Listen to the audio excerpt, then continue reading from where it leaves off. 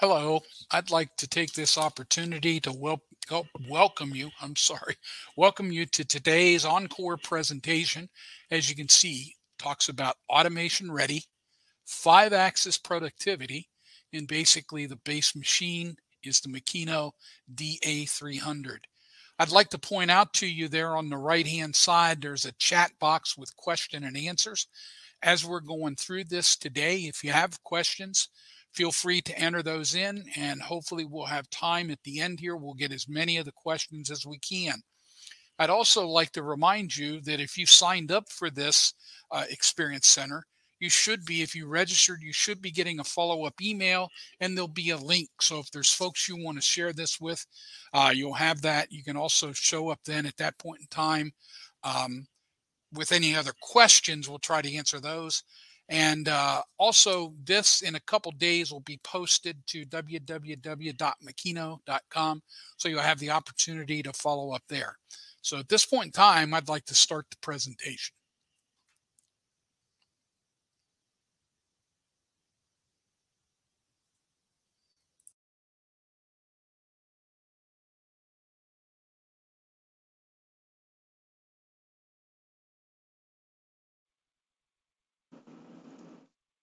Morning. I'd like to thank you for joining us this morning in the Makino Experience Center. We're going to talk about the DA300. We appreciate you joining us for about 30 minutes here. We're going to try and keep it short, sweet, and right to the point. Introductions. My name is Bill Howard. I'm the product line manager here at Makino for Vertical Machining Centers. Today, we're going to talk about the DA300. We're actually going to demonstrate it live on the floor about 50 feet out here outside the EC Center. We're going to have live machine overview. We're going to talk about how we built it and why we built it that way. We're going to cut back and forth with live on machine cameras. And then we're going to reserve a little bit of time at the end for questions and answers and a wrap up.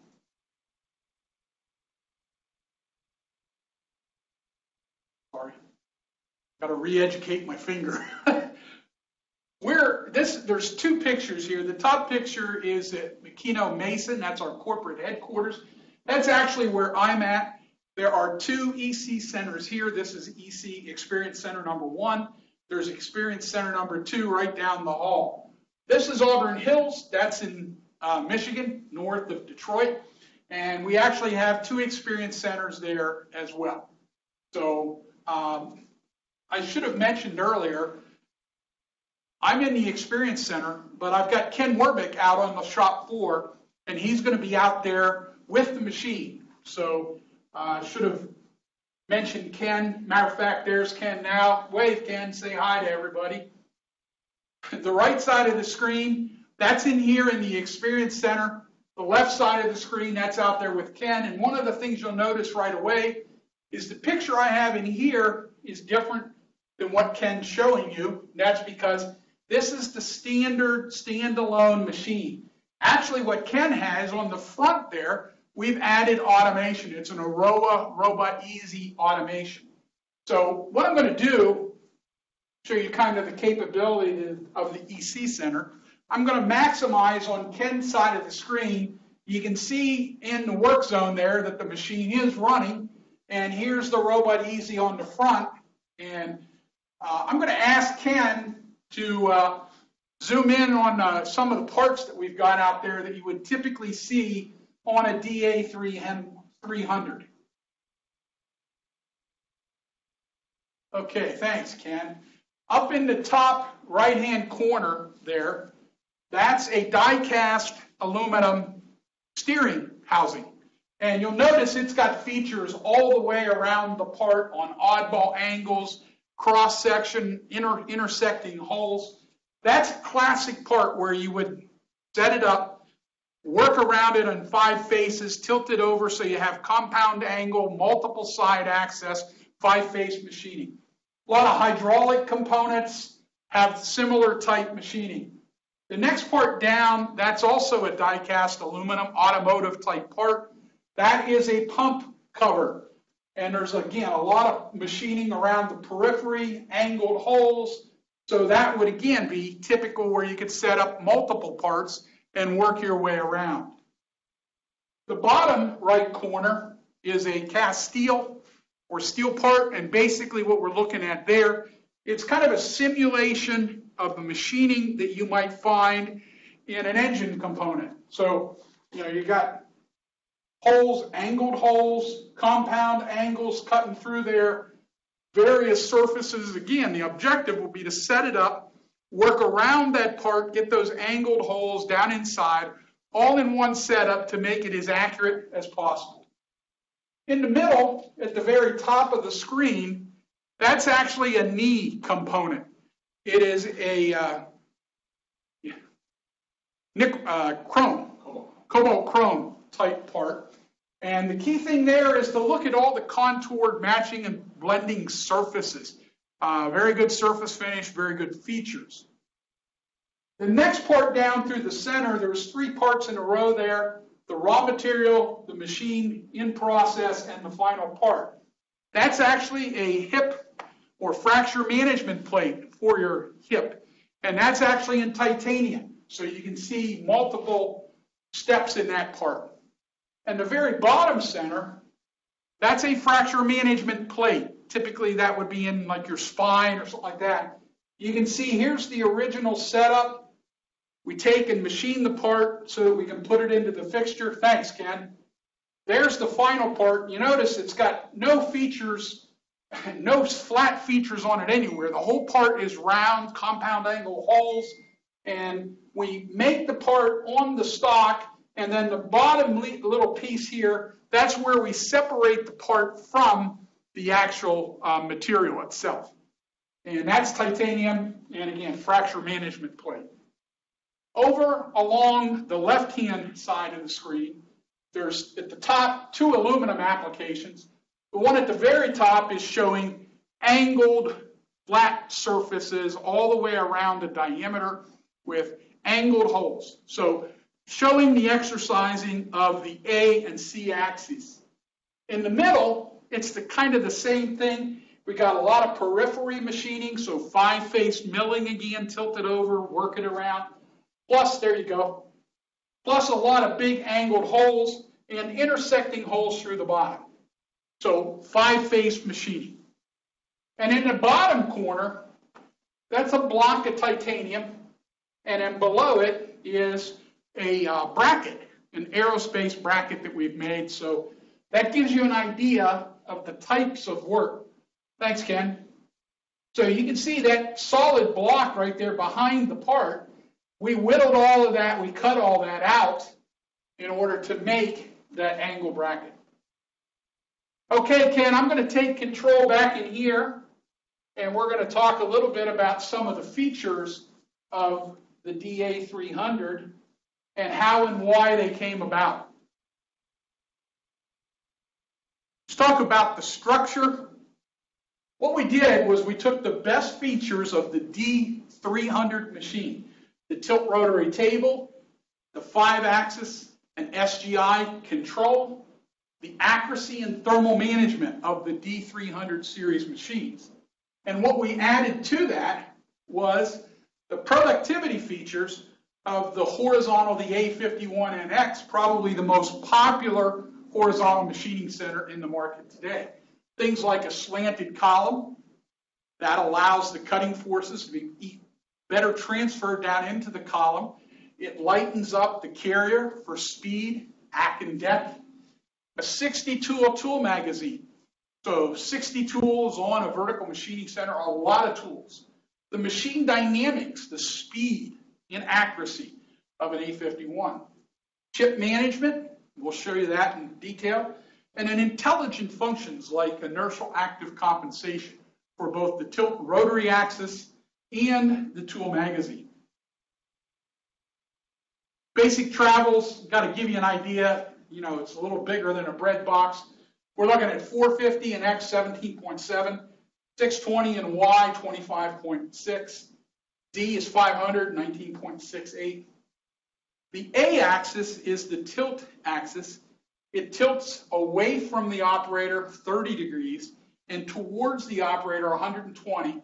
So there's a total there of 150 degrees. And then a full 360 rotation. Well, how do we build the machine? What's the structure?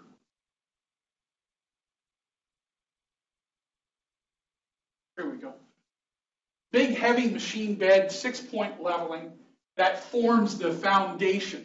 The tilt trunnion table is on the y-axis. You'll see that here in a second. That gives us our A and C. We have a bridge style column with a terraced guideways on the top. Again, that allows us to minimize the carrier, speed up that carrier, make it faster, and also you'll see accessibility into the part. There's your X and Z on the column. Now the other thing is the y-axis, and you'll see that here in a, move, in a minute, the y-axis with the tilt trunnion table moves back under the column. So that shortens up all your reaches and distances. Good, stiff, rigid, very well cutting machine. There's your C axis, 150 RPM. The A axis is 100 RPM. And you're looking at DD motor design. So there's all of your basic travels and the configuration and layout of the machine. Talk about basic workpiece size. You're looking at about a 450 millimeter diameter. We're going to show you a pallet changing machine. So about 300 millimeters above the pallet and about 500 pounds. What we did here was we just took the basic travels and tilt rotary and laid it out on, so that you get an idea. Here's that plus 120. There's your minus 30 total of 150 for the A. Obviously, the C is on top of there.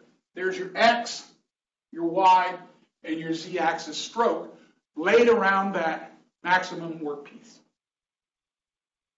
Now, you have distance, you have velocity, which is the rate of change of distance, then you have acceleration, which is the rate of change of velocity, and then you have jerk, the third derivative, which is the rate of change of acceleration. Jerk is something that you want to avoid on machine tools. So what we're going to show you here is a quick video. You're going to see somebody come in and stand a coin on its edge. In the distance, you see motion. What that motion is, that's the A axis and C axis. You're looking at 100 and, 150 RPM on the C, 100 RPM on the A with a full 500 pound pallet load. And you notice that coin never moved. So that's the control of the motion, the acceleration, velocities on the machine. Outstanding positioning accuracies, repeatabilities, the surface finishes, matches, and blends. Precision, let's talk about how the machine is built. It has scale feedback. Not only scale feedback, it's uh, Mori scale. It's an optical 0.05 micron optical scale. So it's non-contacting, it's non-wear. It's going to be that kind of accuracy for the life of the machine. We have linear guideways. We talked about the terrace. There's your X, your Z, and your Y. Those are roller guides. That gives us speeds up to 60 meters a minute or 2,400 inches. And we have ACK and DEC 0.8G to 1.0. The tilt and rotary are DD motors. So A axis, tilt, DD motor, C axis. 0.0001 degree rotary encoders. So extremely accurate and very fast to match up with the travels X, Y, and Z. Now, what I'm going to show you here is just a real quick view of the speed of the machine. There's your X, there's your Z, there's A and C, and Y. Now, in a second here, we're going to look at the speed of that thing. Now we've put a camera, a GoPro on the on the pallet itself, the table, and we're going to spin your head around just to give you some appreciation for the uh, speed and capability, the kinematics. All of this is driving out any non-cut time. So it reduces your cycle time, increases your profitability. Now let's talk about thermals. You might say, well, how, how do you control temperature on the machine? We have massive cast iron. We have a thermocouple in this cast iron, and we're constantly monitoring the temperature of the bed. We have an oilmatic unit. We use that to maintain this feed within two degrees of the temperature of the bed. So we have a jacket around the spindle. We have core cooled ball screws and bearing packages. And we have a jacket around the DD motors for the tilt and the rotary. We recoup all that, take it back to the oilmatic unit. And the key thing here is we're maintaining the temperature of all these elements to within two degrees of the temperature of the bed. In effect, we're creating an ambient manufacturing zone of all of those components to get rid of thermal impact and thermal effects upon your part cycle. Talk about the spindle briefly. 30 horsepower, 15 continuous, 20,000 RPM. It's an HSK A63. It's an air oil lubrication with the jacket that we just talked about. You're looking at 70 millimeter, 2.76 inch diameter, inner diameter for the lower bearings. You're looking at zero to 20,000 RPM in 1.5 seconds. Now, I'm going to show you a little video, and I apologize up front for the video. What we want to show you here is the capability of the machine to hog out, and in this particular case, it's an aluminum electrical box. Unfortunately, the minute we start hogging out, we got to turn a lot of coolant on to get the chips out. So you're not going to see much other than what it looks like when you start and what it looks like when we finish the hogging cuts. So here we go. As I said, this is an aluminum electrical box. There's what it looks like. Comes from a solid block of aluminum. And in a second here, you're going to see, take a look at what it looks like right now. Now all the coolant's going to come on, so it's really going to mess up your image and your view. But just keep your eye on it for a second. I promise we're going to turn the coolant off here and show you what we've accomplished in this little short period of time. There you go. Look at all the aluminum that's been hogged out of there. Now we've got a face mill, and you're going to see an example of five-side machining, top and then the sides, and TCP, tool center point and control. Multiple sides. Now we're going to change tools. We're going to change to a drill. Again, we're going to do multiple sides, but you'll notice that motion. That's GI drilling. We've moved or changed the, the loop or the process to get out all of the non-essential, non-cut times. Now we're going to go to an end mill, and again, we're going to work on multiple sides of the part. There we go. And again, you're using TCP as well, Tool Center Point Control. So that gives you an idea of GI drilling, GI milling, and also the hogging capability of that machine. Now, what allows us to do that on that machine? Well, what you have here on the left side of the machine is the power curve. Notice the power, you've got full power about 3,500 RPM all the way up through about 15,000 and still very good power all the way up to 20,000 RPM. Same thing with torque, very good torque, very good torque through the mid-range, and we maintain torque all the way up to 20,000 RPM. So you have a good blend of power, torque, and high RPM for a lot of those small matches and blends or small drill type tools. Very, very productively laid out and built, executed machine. Now I'm going to talk in here for a minute about the tool changer. Uh, you're looking at a solid model. As that model rotates, look in the front. You'll see the robot shutter. That'll give you a view of it as it rotates around. I'm going to change to the other side here for a second. Here you go. There's the robot shutter. This is the 60 tool magazine, the access door for loading and unloading tools, just like an A51NX. There's your tool changer. Tool comes down, there's your double arm, takes it in, puts it into the spindle. 60 tool standard up to 254. We're going to go out to Ken here in a minute and see that. 70 tools, a 7 millimeter diameter nominal, 140 millimeter with adjacent pockets empty, 300 millimeters long, 17.6 pounds, 3.5 seconds chip to chip. This is showing actual video. There's the tool going down. You notice that flash. What that flash is, is a digital camera. What we're doing, and there's the tool going into the spindle, door closes, take a picture of the tool coming back as well. We're taking a digital image of the tool as it goes into the work zone and when it comes back. We're comparing that di digital image to the tool length and tool diameter that's stored in the control in the H&D values. The idea here is we want to check and make sure that we're not bringing a tool out that's pulled out of the holder, pushed into the holder, broken. So we're assuring the quality of your part, but we're doing it in the tool magazine. So there's no impact upon cycle time. And again, it protects the integrity of your working of your part. Now, uh, sorry, I should have, uh,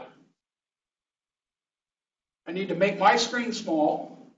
And what we want to do is we want to make Ken's screen big, which means we're now out in the show. Sorry. Like I said, I got to re-educate my finger every now and then.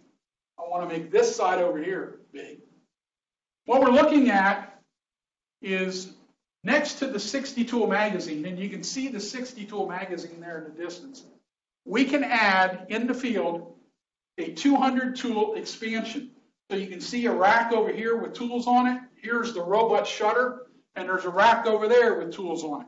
And the robot basically runs up and down between these racks and will grab tools and put them over into the 60 tool drum and feed them into the machine. There in the distance, you can see the 60 tool drum. And again, you can see some of the racks. The robot's right here. So like I said, that robot goes up and down between the racks, grabs tool, brings it over, puts it into the 60 tool magazine, and then can feed that into the machine center. Okay, Ken, thanks. We'll be back in a minute. By the way, Ken's out there cutting apart, and we've kind of ignored that. This is a camera actually on the machine, and you can see he's going down. It's a little aluminum part. It's got machining on all four faces in the top. And you'll notice there's three chucks on that particular pallet. That allows us to work on three parts simultaneously, all four sides and the top. That part has a dome, kind of tough to see, but on the very top of it, there's a dome on that part. So that is a full five axis machining, matching and blending.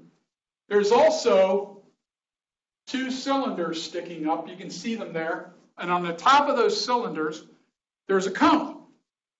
That's simulating an NAS 979 test for uh, five-axis machining of tapered surface. So Ken's out there running this while we're in here uh, talking.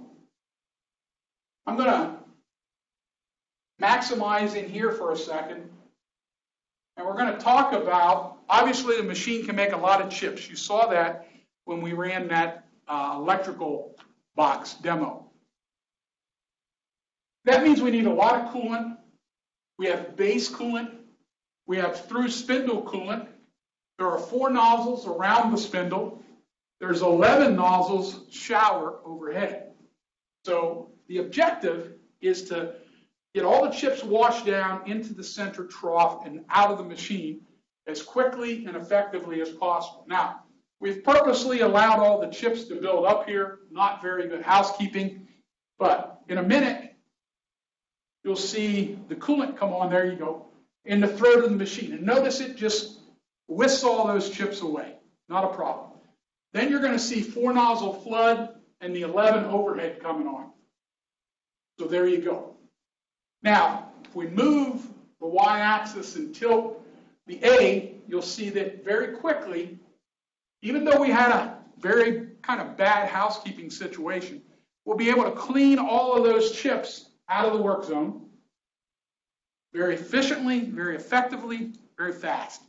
Keep the machine running. That's what you want to do. Okay, so that's what we're looking at as we move the wall. You'll also notice the uh, terrace cooling coming down the side and over here down the side. We're washing all the coolant, all the chips down into that center trough and out the back of the machine. Now, before we talk about that, I'm gonna maximize Ken's side. And what he's done, he's went back, we got all those chips and coolant, we washed them down into the center trough.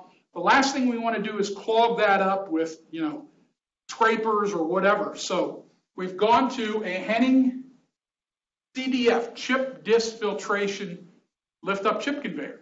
Well, it's got discs along the side, so the center's open, get all that chips and coolant out of there. We pull the coolant through those discs, and we get about a 30 micron coolant purity. Then what we do, Ken's trying to move, there we go. That little silver thing there, that is a cyclonic filtration. So we take the coolant that comes through the disc on the lift up chip conveyor, we go over and put it through that cyclonic, we end up with about a 20 micron coolant, uh, coolant purity. Okay, Ken, I'm gonna make your side small and maximize mine here for a minute. He's gonna be setting up on the, the uh, pallet handling system. Talk about the machine here, basic, it's got a 300 by 340 table. And that table has five integral ports. One of them is an exhaust. The other four could be pneumatic, or you could have two pneumatic, two hydraulic. We'll show you how we use those. What we've done to the 340 by 300 table, we've put an Erowa UPCP chuck on the top of that. That's this thing right here. So now with that mounted there and plumbed up, we can change Erowa pallets and work pieces to and from the machine. That's what it looks like in here, but we're going to go out to Ken and we're going to look at it out there on the floor. This is an Erowa Robot Easy. There's actually 10 pallets on that machine. And you're looking in through the front. Here's that electrical aluminum hog out. Over there is that uh, die-cast aluminum steering knuckle or steering block. There's 10 pallets there.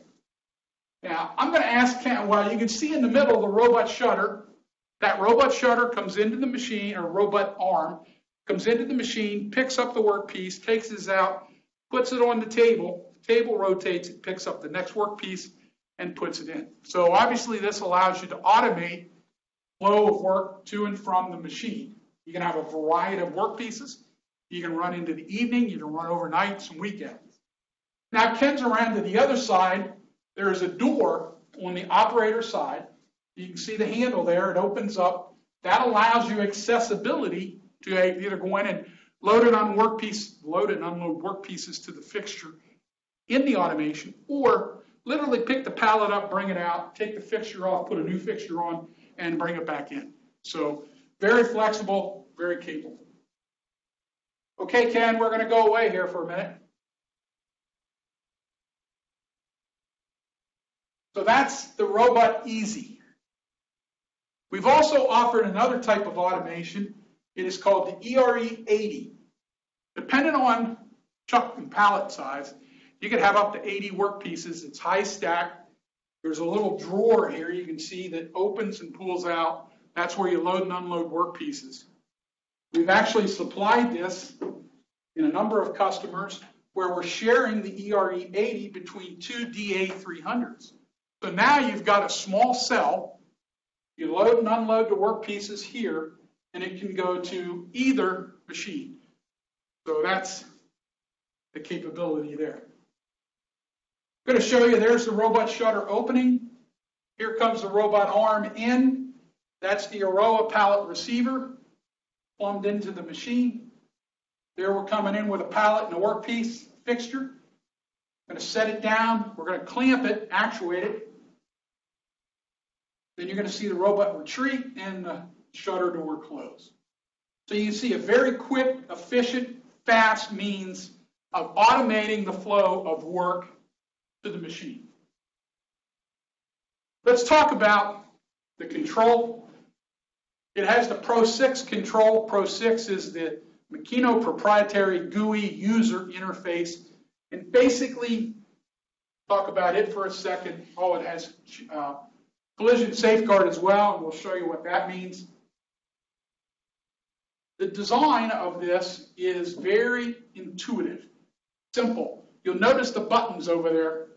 The idea is to prompt you through setting up the workpiece, entering the data, and going right into running work. Traditionally, you had point to point, large distances, stopping and going, acking and decking, long cut times, poor surface finish, very poor tool life. But with SGI 0.5, you'll notice we've defined a user of tolerance. We've run very quick, very efficiently. We reduce cutting time, better surface matches and blending. So let's compare the two, conventional, new. Keep an eye on the speedometer, particularly on the conventional side. See, ack and deck and up and down. We're done. Run a constant speed, obviously quicker, faster, smoother, better surface finish, much better part in less time. Now, collision safeguard. When you start building five-axis machines, you have to recognize there's the potential of the machine actually impacting itself. Look at the red tool. Keep your eyes on that red tool. We're cutting around. Now we're going to index the tilting axis, and uh-oh, the red tool just disappeared from the image. Now we're going to do the same thing with collision safeguard working. Same cutting and C, indexing the part around. Now we're going to try and do that A-axis position. Uh-oh, something. It stopped. Oh, it's generated an alarm. Well, if we hit the button, the alarm will open up and it'll tell us. Basically, as you were working around that part, you didn't pull Z up enough to index A and you ran the part into the tool. Well, like I said, we originally come up with this concept when we started building five axis machines. We recognized that the table and the spindle you have to protect the machine from hurting itself. So what's going on is back behind there, there's a solid model that's got the machine work zone, and it's making sure that the machine doesn't try to run the spindle into the table or the table into the spindle. Thinking about that, we recognize that if the customer is willing to put a solid model in there of the part, a solid model of the fixture, we know where it's at, G54, 55, 50, wherever you put it on the machine. And a solid model for each tool. We know the tool length, the tool diameter. So now we can run all of that live in the background and provide collision avoidance. So we're protecting not only the investment in the machine tool, the investment in the workpiece, the fixtures, the injured tool. That ends the formal presentation. I'm open for questions, and we're going to bring Ken back.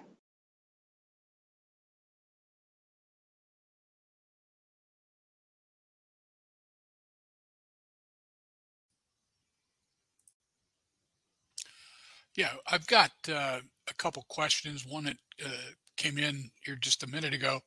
I'll just read the question. It says, Does the technology exist so an HD image and or laser could determine tool life. Well, there's a couple things mixed together there. Um, does technology exist? Yes, and it exists for both an HD image, so you have a, a high definition camera, uh, or a laser. Uh, unfortunately, both of those uh, what they're what they're looking for is they're looking for broken tool, not necessarily tool life. So yes, you ha- you can have a high definition camera. The tool has to be in the spindle because you want to be rotating the tool around and taking high definition images. And then it can basically determine if the tool is broken or if it's sucked back up in the holder or if it's come out of the holder or if it's chipped. So therefore, that technology exists, uh, and we we can do that on some of our die mold machines. Uh, by the same token, with today's ATL uh, automatic tool length measurement laser, we've also gotten to the technology where, again, the tools in the spindle, you can rotate the tool and basically determine cracked or chipped or broken tools. So the the the difference there in the terminology is yes, the technology exists for high definition images and also for laser, but it's not looking for tool life. It's looking for broken, cracked, chipped tools couple downsides of that is obviously it has to be in the spindle so you're taking production time in order to do that. Uh, now again in a die mold world when that tool's in there for hours and hours and hours that's maybe not as expensive to you part cycle time wise as it would be on a high production.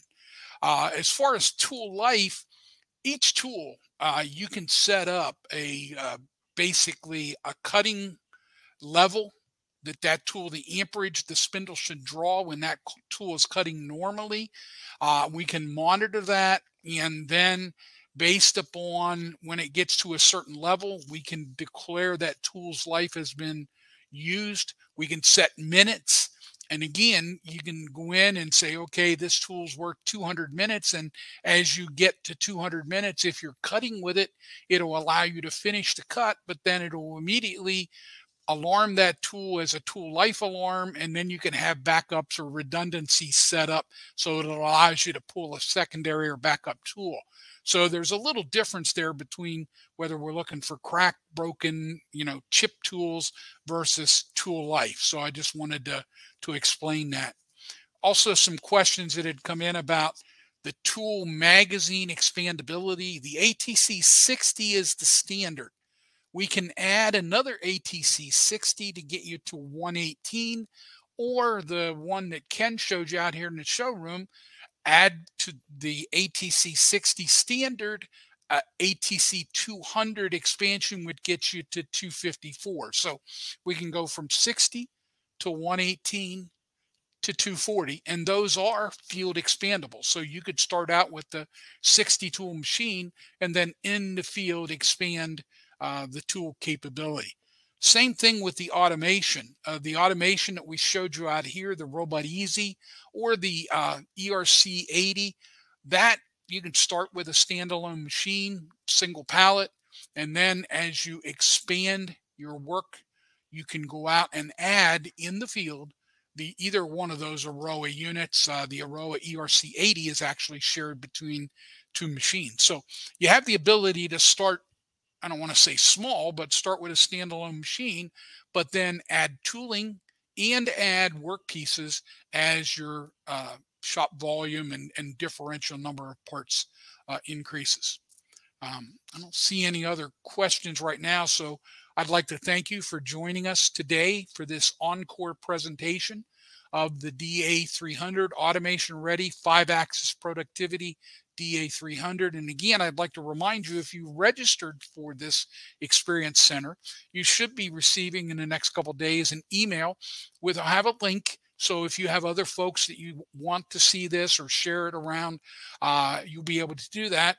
And in a couple days, this will be posted to the archive at www.makino.com. Once again, thank you very much for joining us today at this Makino Experience Center.